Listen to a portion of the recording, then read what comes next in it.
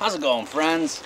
We're out here doing a little pesting with this new Diana XR200, and uh, Matt told me it's Pi Day. I'm not a math guy, so I didn't really know what Pi Day was, so I went to the store and bought a pie. Not really a big pie fan, so... But, you know, you can't eat it cold. It's snowing. Gotta warm it up. Let's warm it up.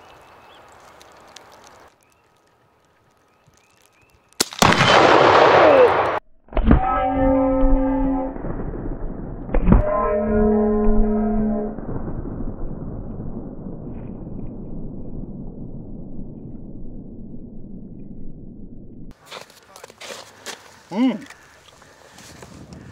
Happy Pi Day. No problem.